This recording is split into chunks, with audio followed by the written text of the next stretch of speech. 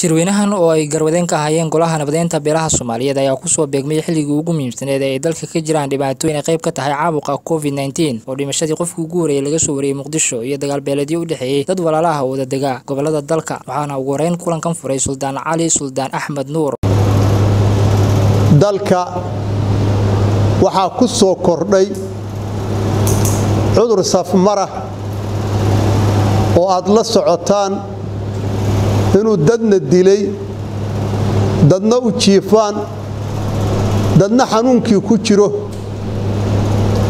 Waxaan rabnaa halkan inaan si gaara uga mahad celinno sida wanaagsan ee wasaaradda caafimaadkaan dhihi lahaa iyo madaxda qaranka ay iskaga xil saareen sidii looga hortegi lahaa cudurkaas isagaa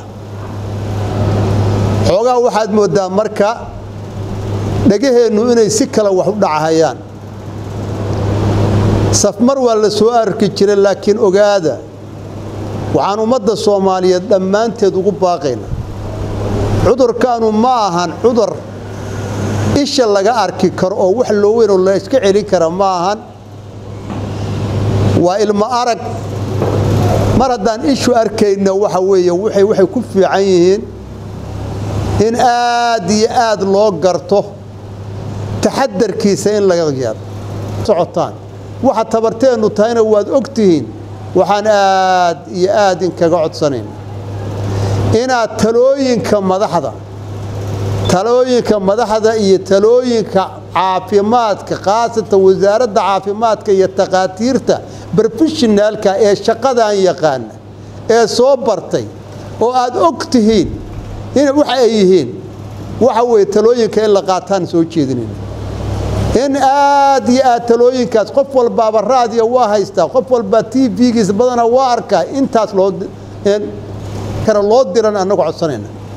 Si gaara anigu waxaan si gaara u codsanayaa oo dowladda ka codsanayna deegaanadii annagu aan joognay oo aan madaxda ka ahayn oo dadkeed oo dadkaan madaxda u ahayn oo meesha jooga oo galmudug jooga oo khaasatan deegaanka galmudug jooga. Dhibaataa ka dhacday waxaan aad iyo aad u codsanaynaa dowladdu inay gacanna nagu siiso sidaan u aadi lahayn wixii ayna tari kartana ayna tartara taasna waxaa weye si gaaraan uga codsanayna madaxdao dhan baan ra'iisul wasaarahaan ka codsanaynaa insha allahu tacaala madaxweynahaan ka codsanaynaa ra'iisul wasaarahaan ka codsanaynaa wasiiradaan ka codsanaynaa xildhibaanadan ka codsanaynaa cid kasta oo danaynaysa ka naxaysa dhibaatooyinka jira. In wufuud loo diro dadka dadkoodii gobollada inta badan waa laga yimid xamaraa la yimid xamaraa la joogaa. Qofbadan ha u yimaado laakiin inta badan dadku halkay ku sugan yihiin gobollada waxa weeye marka waa laga yimid in gobollada noolo celiyo oo aan tagno oo aan deegaanada annagu aan ka nahay odayaasha iyo salaadiinta ka nahay iskagama aanan imaana danaan halkaan u nimid danihii aan halkaan u nimid insha allahu tacaala wax kasta hayanba waa joojinaynaa taasaa nooga culus. Marka inaan taa qabanaan rabnaa. Qaar ka mid a cuqaasha iyo waxgaradkii ka hadlay kulankan ayaa iyaguna tibaaxay in dadka soomaaliyeed ay u midoobaan nabadda islamarkaana ay ka waantoobaan dagaalada soo noqnoqday ee ka dhaca gobollada qaar. Dagaalada ka socda gobollada jubbooyinka galmudug shabeellada hoose iyo meelaha kaleba inay ilaahay uga baqaan dagaaladaana shuruudla-aan lagu joojiyo. Sharcigana la hor keeno intii gefka u saabahay. Intaas suldaanka ku kabay dowladda waxaan ugu baaqaynaa shacabka soomaaliyeed meel uu joogaba inuu qaato awaamirtaasaan rajaynaynaa. Waxaanaad og tihiin oo xukuumaddu heer maamul goboleed iyo heer qaran madaxweyne iyo ra'iisul wasaaruhu ugu sarreeyaan ay og yihiin. Lahaa jirtay dhaqan. Dhaqankii ay lahaa jirtay maanta waa la beddelay waa nasiib darro. In mayd inta la dilo la gubo haddana waa nasiib darro weyn. Waa waxaan dhaqan aanaan u lahaa jirin. Waa wax ummadda soomaaliyeed ugubka ahoo cusub. Taasna waxaan dowladda ka codsanaynaa.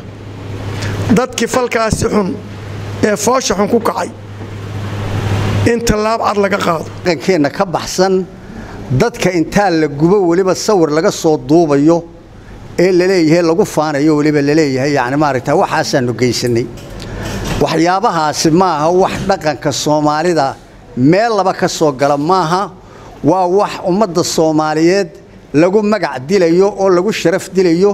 Sidaa awgeed waa in dadka noocaasa sharciga la hor keeno weeye. Waa dad xambaarsan dhaqamo kale oo aan innagu shaqo aynaan ku lahayn. Soomaalidu way isdili jirtay weligeedba. Laakiin waxaas iyo wax la mida waa yacni birmageydada sidaa looma eegi jirin. Waa dhaqankii soomaalida ee nadiifta ahaa biniaadankuna wuu isdilaa waana la isdili jiray. Soomaalidu weligeed way isdili jirtay. Laakiin waxyaabaha imika muuqda ee yacni maaragtaa soo bambaxayaa maaha wax ummadda soomaaliyeed meel laba dhaqankeeda ka soo gala maaha waxaas. Cambaarayn baannu dusha uga tuuraynaa cabdulaahi gacmo ariel t v muqdisho. Ma sinna dharaar iyo habeen kala mudan sarafluhu yaa salaam geydi money exchange. Saxar ma leh saluug ma leh soo noqo ma leh sagsaag ma leh yaa la saayiro maxmiil sarif qiimo macquula kugu siiyo sicir maangala saaxiibka dadweynaha. Ka sarifo lacagaha sida doolarka maraykanka iyo weliba somalilan shilin. Sidaan ahayba mooye subaxaan hareer maro nafta waynu siseegnaa sagaal jeer isaniftaa calaashaan. Kuma calulsame cid kale sariflaha geeddi mooye.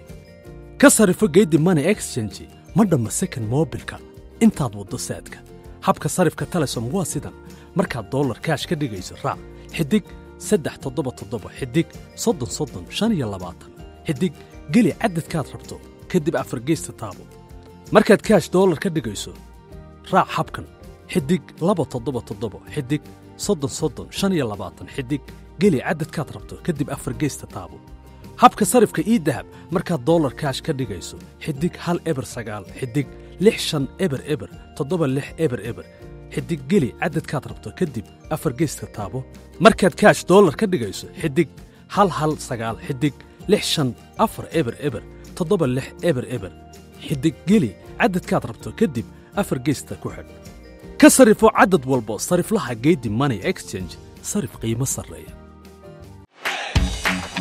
shirkadda dahabshiil waxay macaamiisheeda meel kastoo idaafaha caalamka ay ka joogaan ugu bushaaraynaysaa in iyaga oo jooga guryahooda amabase goobahooda shaqo. Ay eheladooda iyo asxaabtooda lacagaha ugu diri karaan si fudud adiga oo isticmaalaya abka tok remit sidoo kale waxaa lacagaha laguu soo diro ku heli kartaa adeegga iidahab